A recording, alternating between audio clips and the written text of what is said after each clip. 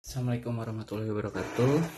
Saya di sini atas nama Aditya Mukti ingin mengklarifikasi video yang beredar di masyarakat tentang video viralnya, video syurnya artis terduga GS bersama lawan mainnya yang terduga saya sendiri di kalangan masyarakat. Yang pertama, poin pertama itu kenapa saya baru mengklarifikasinya sekarang?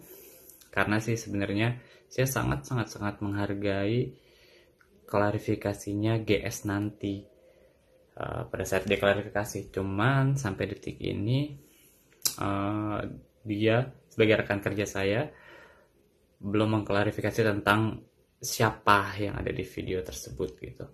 Jadi kalau misalnya mungkin kalau misalnya dia udah mengklarifikasinya beres ini masalah.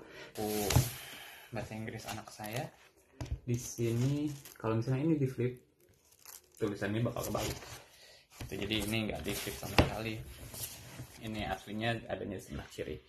Terus dari bukti terduga postur tubuh, postur tubuh saya bisa kalian lihat ini kecil berat badan saya 55 uh, tinggi badan 164 jadi kecil gitu maksudnya kalau di video itu kan terlihat atletis terlihat besar dan muka.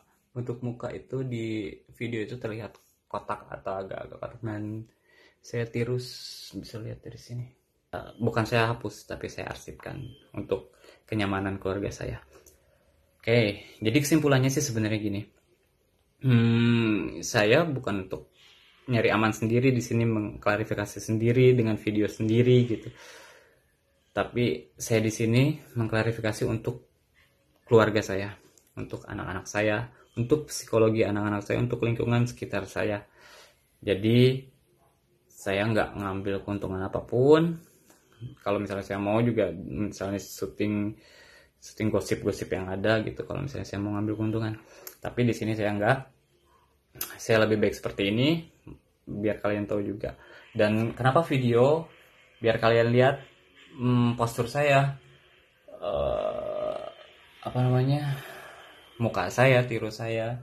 Jadi kalau ada nanti nantinya kalau ada pakar pakar untuk yang kayak gini bisa langsung lihat video ini. Gitu aja.